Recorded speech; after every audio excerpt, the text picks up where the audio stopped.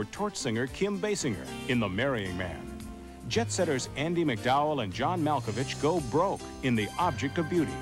And Robert Townsend forms a singing group called The Five Heartbeats. It's all coming up next on Siskel and Ebert.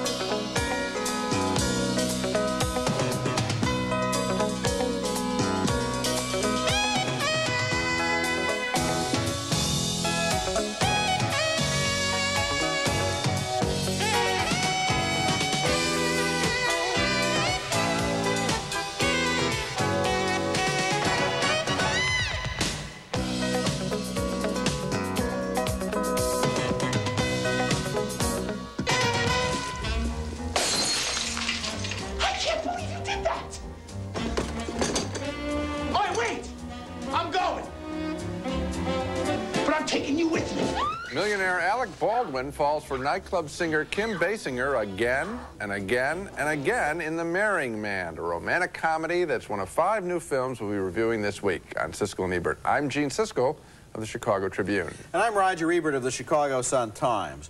Our first movie is an affectionate throwback to those zany comedies of Hollywood's golden age where two people fall in love and discover they can't live with each other and they can't live without each other.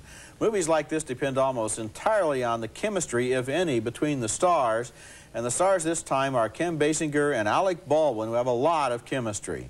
Baldwin plays a millionaire playboy who's engaged to the daughter of a Hollywood mogul. His buddies take him on a bachelor trip to Las Vegas, and right there in a sleazy gin mill outside of town, he falls instantly in love. Birds do it, bees do it, even educated fleas do it. Let's do it, let's fall in love. It turns out that Kim Basinger already has a boyfriend, the mobster Bugsy Siegel, but she and Baldwin can't keep their hands off one another, and that leads to trouble later that night. Oh, my God. Um, Oh, this is bad. well, well, This is so bad. I couldn't see much, but it didn't sound good. Another man who's very angry with Baldwin is Robert Loggia as the mogul whose daughter Baldwin is left standing at the altar. They were kidnapped and forced to get married at gunpoint. At gunpoint? What is that? A new crime wave? They grab people on the street and make them get married? After Baldwin and Basinger's first marriage ends in disaster, the buddies make the mistake of going back to Vegas again. I wonder where she is now. And that leads to another marriage. This is the happiest day of my life. I always love these days too, Johnny. I really do. Hey. The screenplay for The Marrying Man was written by Neil Simon, who once heard of a couple that had been married four times and knew that there had to be a comedy there somewhere. The result is one of Simon's best comedies in a long time. In fact, after Biloxi Blues, it's a comeback. The movie is not a polished masterpiece of comic perfection, but it has a lot of juice and energy, high spirits, and exaggerated romance. And by the end, you almost feel sorry for these two exhausted lovers who have nearly self-destructed under the pressure of their relentless passion. Well, here's a case where we completely disagree. I felt there was absolutely no chemistry between Basinger and Baldwin, and of course, they're well known as an off-screen couple as well as on-screen, so really, I was mystified. The moment comes, uh, you know, the first scene that you showed when uh, he sees her instantly, and we're supposed to accept that they are in love, and it didn't, uh, they didn't wow me. I thought that uh, neither character was very well written. That there was there was nothing actually for her to do. Um, I compared her with the performance of Michelle Pfeiffer in the Fabulous Baker Boys. Kind of similar stories, but uh, not nearly as well written and not nearly as well performed. She wasn't. She didn't seem to be anybody to go crazy for. Well, maybe the problem then is that it's not the chemistry between, between them, but the chemistry between each of us in the screen. Because Uh, yes. I picked up chemistry and you didn't. That's undebatable. I know. mean, I I, can't convince you you're I wrong. understand. You can't convince me I'm wrong. I thought that they did work together, that there were sparks, and that also there was a kind of a comic energy that was coming along in this movie about people who are just practically destroyed by this love that they have for one another that they cannot deal with. And I'm sitting there not feeling anything between them, and as a result, it seems like a very mechanical plot where, you know, they're in love, out of love, in love, out of love, and the supporting cast of all those movie cronies in the background, I thought mm-hmm. those guys were really annoying. okay. Our next film is called Career Opportunities, and this one caught me by surprise. It's John Hughes' latest script since Home Alone, and this one could be called Working Alone, a surprisingly mm-hmm. touching comedy about an older adolescent young man who has a lousy home life. He hates his parents. They don't particularly like him. He's known as the town liar. He can't hold a job, as his siblings are only too eager to point out. You got canned again? Well, he didn't get canned. You got fired. His last-ditch job is working as the night janitor in a department store where he's left alone. He goes nuts until he spots an unexpected visitor in the store who fell asleep there while shoplifting.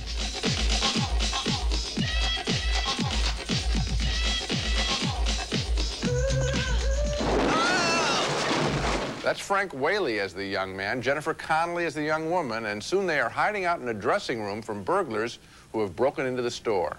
You're on top. Did you want to be on top? Oh, no. No, no, I'm, I'm, I'm, I'm just fine right where I am.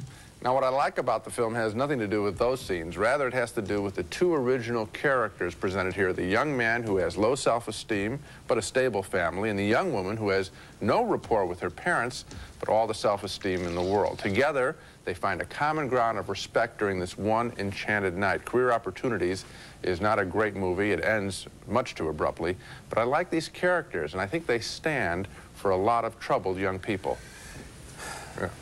To me, this movie was completely negligible. It was long at 80 minutes. The characters were absolutely without any interest at all, and that includes Jennifer Connelly, who was very beautiful to look at, Yeah. and who was very good in that Dennis Hopper movie earlier last year. Frank Whaley, who was kind of a Eddie Bracken look-alike and kind of plays an Eddie Bracken character, seemed totally inexplicable in this film. I didn't understand where his personality was coming from, and every single thing that happens is completely manipulated, all about the, the burglars turning up, the cop and the father looking for the girl, the people who arrive and leave from the store and so forth. I just sat there in stunned disbelief at how completely lacking in any inspiration or interest this movie was from beginning to end. Well, let me tell you about the character that this Frank Whaley plays, because I thought that was kind of, I think, I'll, I'll tell you what I think he's about, and I think he's about what a lot of young kids are about.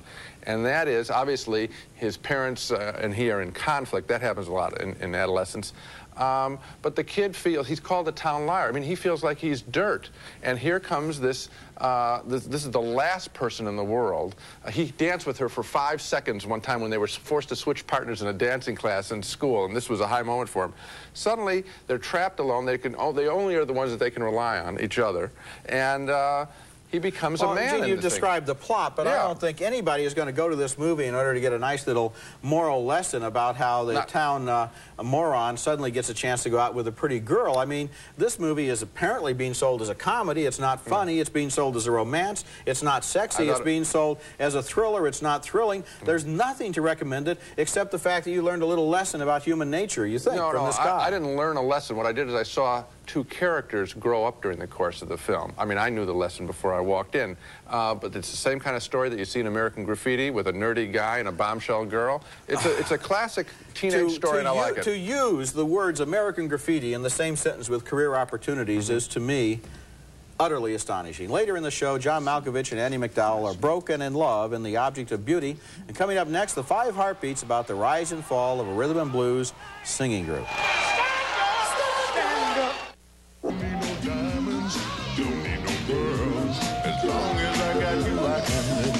The king of the. Go to church! That's the amateur night performance that launches a career for the Five Heartbeats in a new musical about the rise of a singing group that's made up of five very different members. The movie was directed and co-written by Robert Townsend, who made a lot of waves with his debut film, Hollywood Shuffle, a few years ago. That was a send-up of Hollywood's favorite cliches about black actors. Now Townsend gets the chance to star in a role that is not as cliched as Duck, who is too shy to ask a girl out on a date. Can't dance. Don't know how to talk to women. He's a virgin. Look at that dumb little look on his face. The Heartbeats get some dance tips from an old hoofer played by show business veteran Harold Nicholas.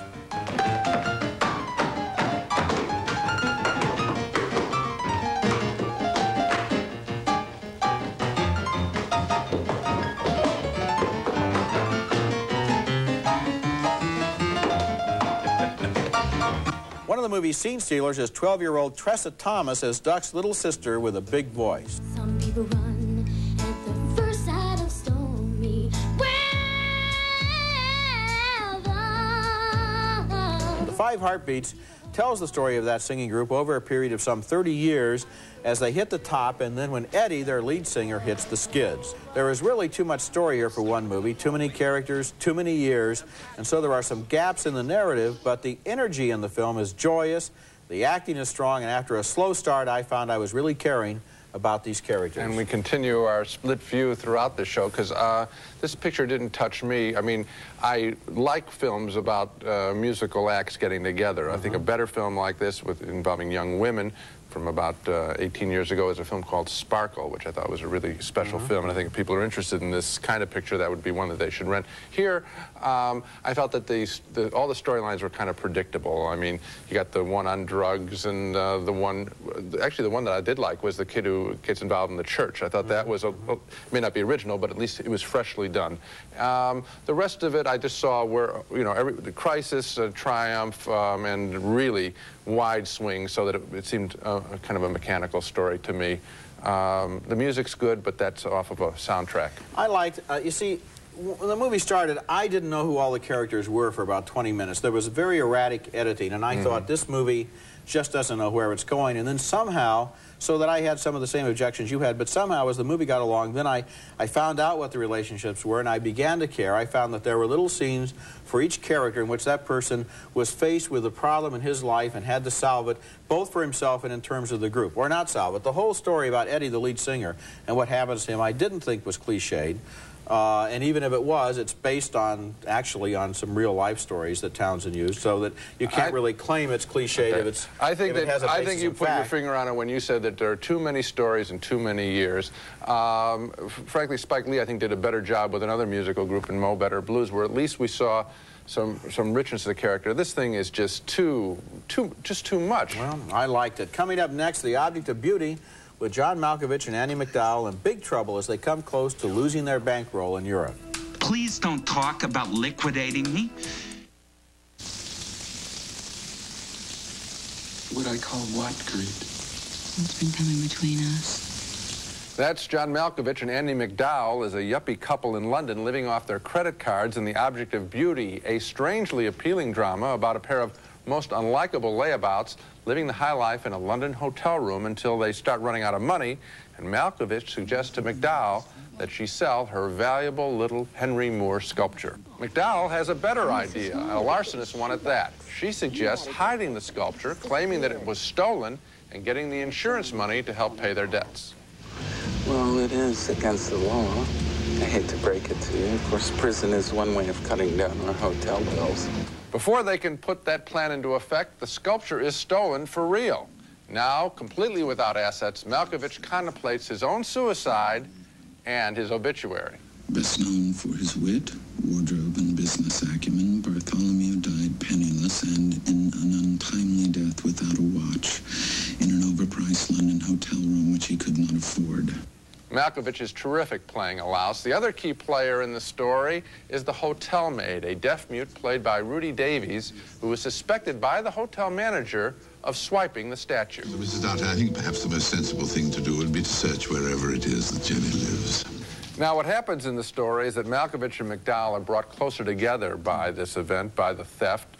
Forced to scramble for some money, they are forced to focus on each other, and their tentative surface relationships needed that crisis to affect some bonding. And I was very surprised that I stayed with these mostly unlikable characters. Annie MacDowell is not at her best here acting. She isn't very convincing expressing anger.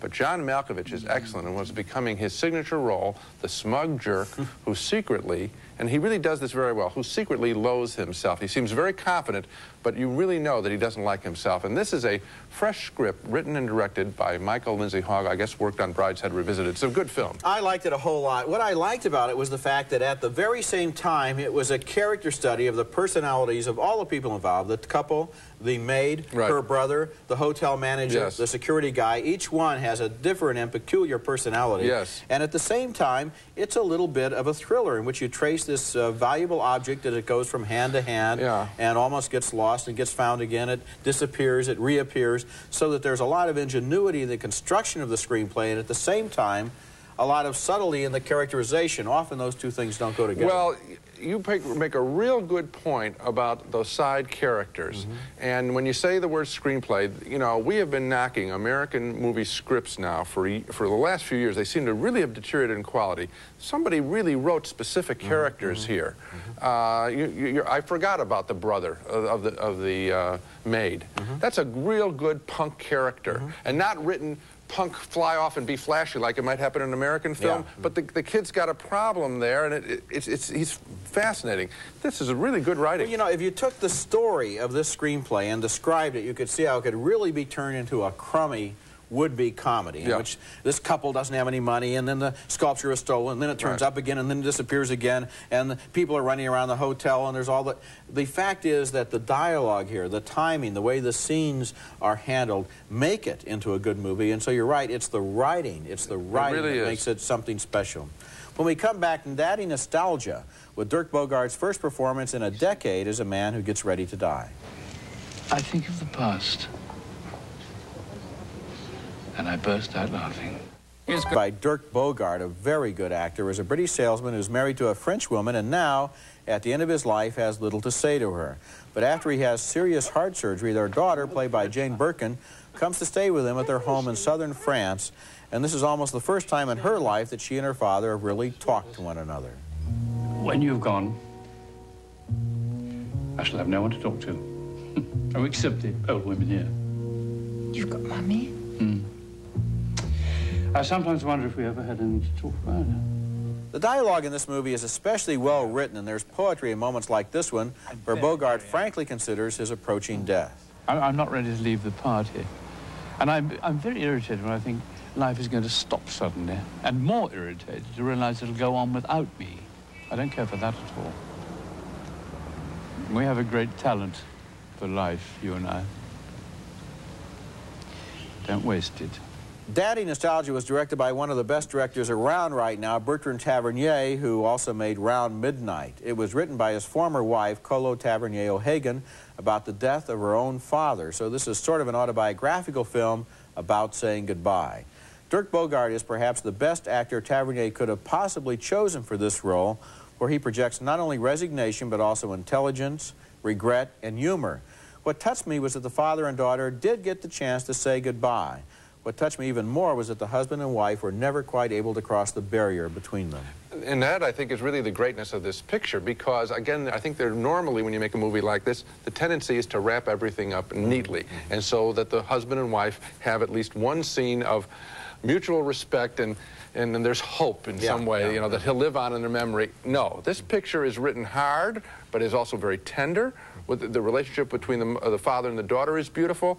And why can't we live with both things? Why mm-hmm. can't we live with a man who has no rapport with his wife at long last and who, who reaches one with his daughter? It's a beautifully sculpted Once story. again, you're talking about screenplay. Now, Yes. I, as I was watching this movie, I remembered a picture with Jack Lemmon called Dad, which I didn't like Right. very much. And Right, that was a I. movie in which everybody had to be lined up and checked off in terms of their big scene of reconciliation and With truth Dad. and tears. And the fact is, in real life, there are some people you make your accommodation with, and there are some people you don't. Some relationships cannot be That's repaired, right. and this movie is about both kinds of things. It's a terrific, terrific film. Coming up next, our home video pick of the week, one of the best gangster films of recent years, and that's saying a lot because there are so many to choose from.